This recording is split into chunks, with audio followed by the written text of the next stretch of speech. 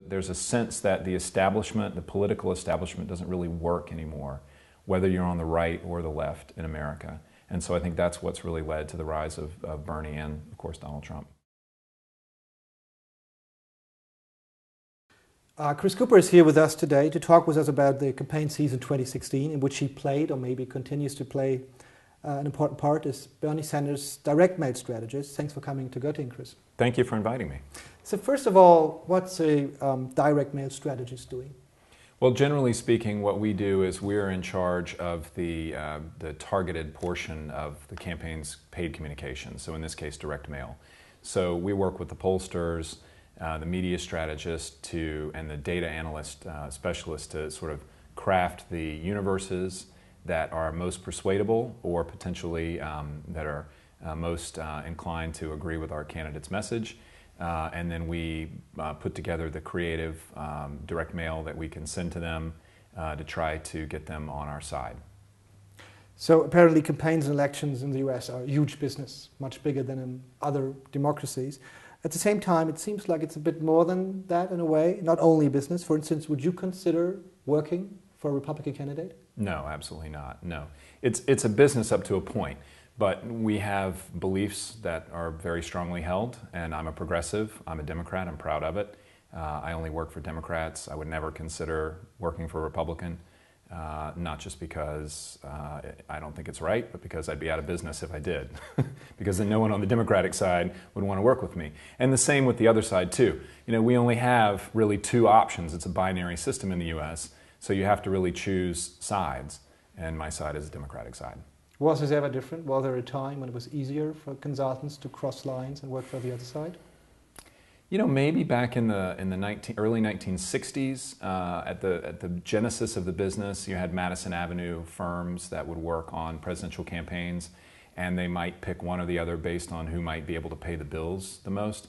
But I think in the in the uh, political consulting industry, as it's existed for the last generation at least, no, it's you're either a D or an R.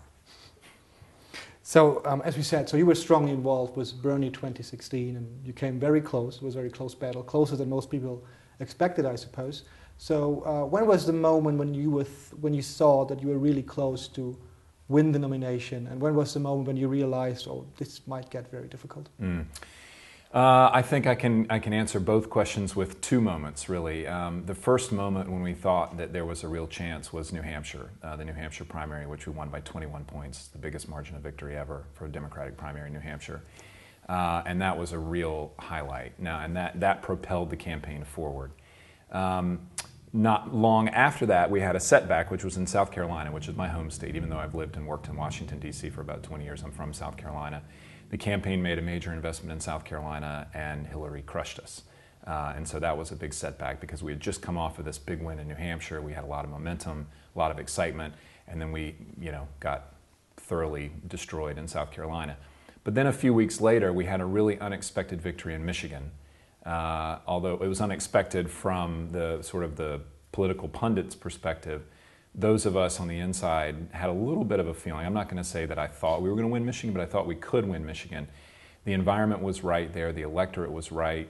Uh, it was um, Bernie had a really strong message against uh, these foreign trade deals that have really decimated the manufacturing economy in Michigan and Midwestern states in general over the last 30 years, 20 years. And so we thought we had a really outside chance in Michigan. And Michigan is a real swing state in a Democratic primary. It used to be a swing state in the general election. Democrats have won it in every general election, I think, going back to 1992. So it's not a swing state in the general, but it is in the primary, and most people thought Hillary would do well there. Um, and, uh, and we won Michigan. It was close, but we won. And that was a real moment where I think a lot of people said, hmm, maybe this thing could happen. But then it was only a couple of weeks later, I think, when we had a big setback in Ohio which, you know, because we had won Michigan, we made a major investment in Ohio. They look somewhat similar. They're right next to each other, both Midwestern states, you know, blue collar manufacturing base of uh, economies there.